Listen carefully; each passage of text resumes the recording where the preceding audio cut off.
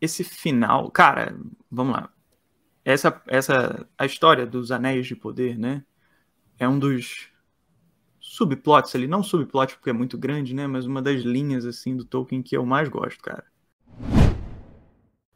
Acho fascinante, assim, o valor temático da coisa de você. Ah, são anéis com poderes, assim, né? O que a gente vê na fantasia pra caramba, anel que solta fogo, né? Não sei o quê. Aqui é outra parada, maluco. É um teste de caráter o negócio. Uhum. Do início ao fim. Tudo que vem, tudo que vem. Desde Fëanor. Que a ideia começa lá, né? Três Silmarils, né? Começa lá e tal, a coisa vem ali, assim, né? Desde Melkor, querendo fazer suas próprias criações Aí, né, colocam mal, vem três Silmarils e tal. Cara, você tem uma passagem de um tema de cobiça e ganância. Pum, pum, pum. Do, do maior pro menor. Tanto que vem do Vala e termina com o Hobbit resolvendo. Tem que passar por todo mundo. Pu, pu, pu, aí quando chega no menor, o cara resolve. Aí ele consegue. Entendeu? Então, assim. É uma coisa, cara, que eu descobri, pô, legal, tem anéis poderosos, né? Quando vi os filmes, que coisa legal, que coisa interessante. É uma coisa que eu sei que eu vou entender de uma forma diferente no mês que vem e no ano que vem e tal. Uma coisa muito rica, né? Porque é muito falho. É falho, cara. O anel é legal, mas ele é falho. É uma queda, é um erro, né? Até os três. Isso é importante dos três serem os últimos. Eu não tenho problema com essa mudança só pelo fato de ser mudança. Mas é por um significado que eu vejo. Minha visão aqui. Visão particular por que, que eu acho interessante os três serem os últimos, né?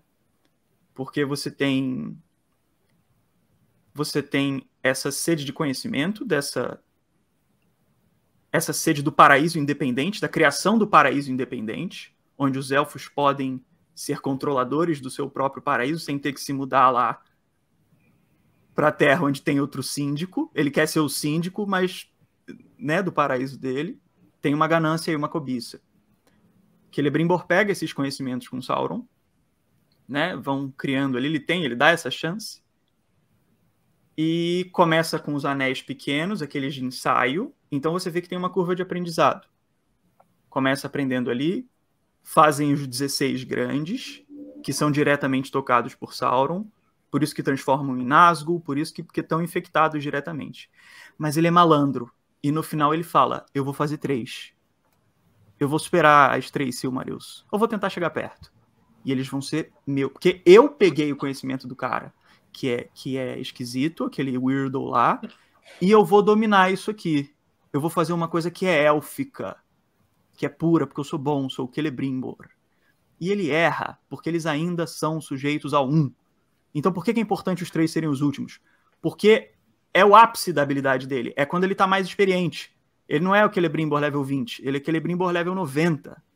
Tanto que Tolkien diz: esses são os que Sauron mais queria possuir, porque são os mais poderosos. São, sim, mas junto com esse poder, ainda vem Sauron. Ele não consegue separar, no auge do poder do Celebrimbor, ele ainda não consegue separar o mal do bem, porque o que foi plantado junto do conhecimento do mal não vai se desvencilhar, cara. Não adianta. Você pode ficar mais mil anos tentando fazer isso aí. A coisa ainda é maligna a coisa ainda é maligna, é falho. Ah, os, o, isso gerou uma mega discussão lá no meu canal e eu entendo, tem muitas visões disso aí, minha visão é completamente particular. Mas o anel não é bom, cara. O Elrond fala, eles não deviam ter sido feitos, cara. Porque aquilo só existe enquanto o mal existir. É, um, é uma preservação falha, é a luz falsa. Sabe quando o Finrod fala no início da série? Para qual luz a gente deve olhar? Para a luz verdadeira ou para falsa? E ele fala, cara, tem hora que a gente vai ter que ver na hora, porque não é fácil de saber. E o anel é isso. Ele é, ele é uma luz falsa, né? No livro, tô falando. No livro, ele é uma luz completamente falsa. Porque quando Sauron chega em Eregion, ele é dito como Sauron. Por isso que é importante ele ser revelado no início. Porque você sabe tudo que ali é maligno ou não. Na, ao longo da, daquele pequeno trechinho que ele descreve a criação dos anéis. Tá e claro. Quem aceita que é... isso e não. Exato, exato. Ninguém sabe quem ele é. Galadriel, a Galadriel fica, não, não vou lidar com esse cara. Ela é o maior obstáculo dele. Tá lá no Contos Inacabados. Mas o que Celebrimbor quer, ele dá a chance ao erro. Né? E, ele paga enfim, pra ver, pô. Dizendo tudo isso. Dizendo tudo isso para quê? Tem, é, é puramente ganância ali, cobiça. Tem uma intenção boa, que é embelezar a Terra, a intenção não é dominar o mundo, né? Não é fazer uma coisa ruim. A intenção é, é legítima. Vamos, vamos fazer uma coisa para embelezar? Legítima não, mas ela não é puramente dominadora. Ela não é puramente dominadora, a intenção dos elfos. Mas ela é gananciosa. Né? Fato. Ponto. É o sentimento principal ali. É o que causa queda, é o que ferra todos os povos, cara. É o que ferra todo mundo aquilo. Entendeu? É um problema que eles não conseguem resolver. Porque quando eles vão tentar destruir os três, eles falam, eles não encontraram as forças. Eles não conseguem destruir, eles não conseguem abrir mão né, mais daquilo. Por isso que os três são falhos. Pô, olha como é interessante. O poder dos três faz eles não não não serem. É, tem um lado bom, protege, luta, enfim, ele é usado. Mas a, foi a vontade de você ter esse poder que, que fez eles serem criados e também não serem destruídos, porque a galera não quer desapegar daquilo, né? Fala, caramba, isso é uma armadilha. A gente está pensando aqui agora com a cabeça no fim da história. Ah, o Frodo vai vencer, então os três foram bons. Tipo assim, no fim da história ajudou, porque eles conseguiram destruir o anel. Mas lá, quando é feito, aquilo era uma armadilha. Porque ele era tão bom que era uma droga. Um negócio que você queria usar. E se o Sauron tivesse um anel, você ia cair na dele, cara. Os três são falhos, resumindo. Minha visão e, é. e eles sabem, os elfos sabem que se eles não quisessem definhar, eles tinham que ir embora para as terras imortais. Porque também eles sabem que eles são os primogênitos e que eles têm que preparar a Terra-média para a chegada dos seguidores, que são os homens. Então a decadência vai vir, isso é inevitável. Então eles estavam tentando evitar o inevitável, né? E sabiam que era errado o que eles estavam fazendo. E aí, qual que é a minha grande diferença? Puxando agora para o que você falou, que é o desvanecer. Como o desvanecer da série é urgente, os anéis se tornam uma ferramenta para enfrentar o mal. O Gil-galad fala no início da série é o ponto de vista dele, e até agora não teve nada que contrariou totalmente, assim, de fato. Mas ele fala: olha, se a gente não tiver esse negócio, a gente vai ter que ir embora, e se a gente for embora, o mal vai tomar o mundo. Então, os anéis são uma forma de impedir o mal de tomar o mundo. É uma coisa muito mais boa do que aquela ganância cobiça dos livros, entendeu?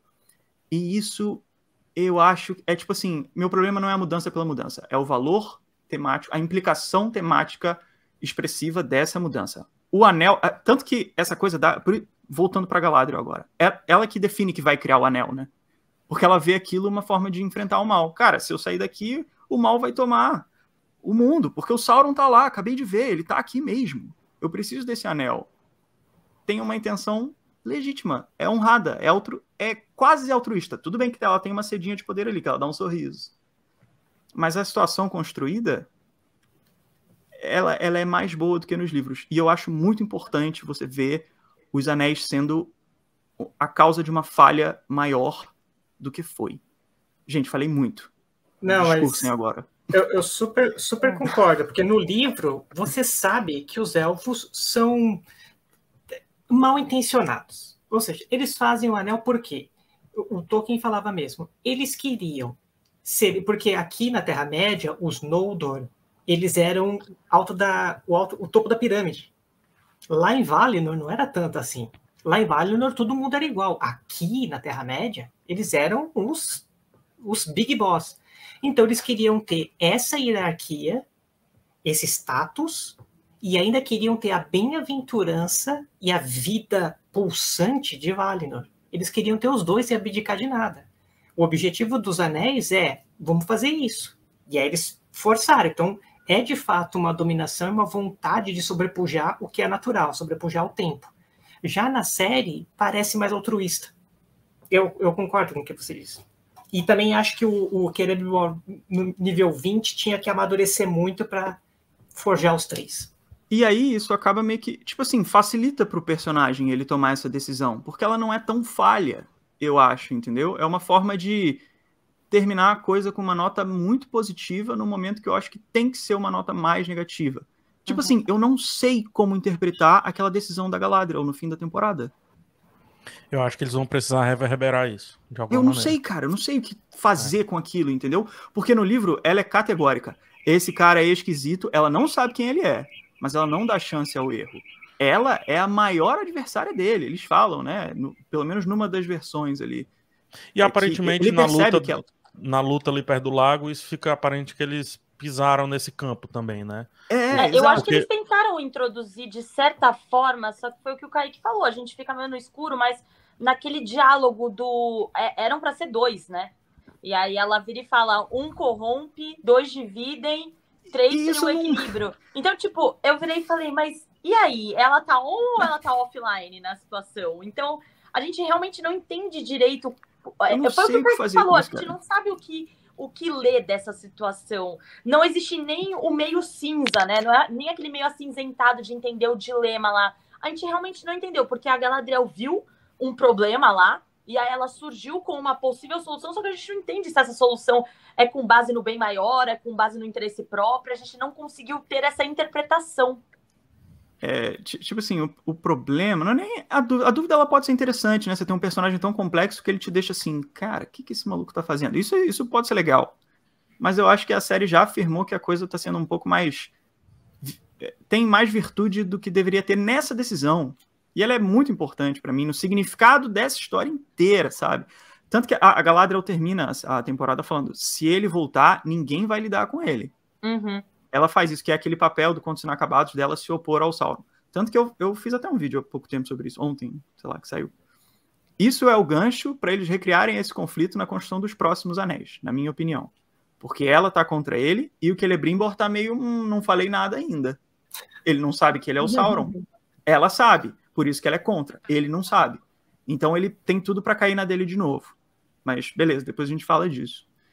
É... Mas é isso, cara. Ela, ela meio que se opõe ao Sauron, mas ela leva o plano dele adiante.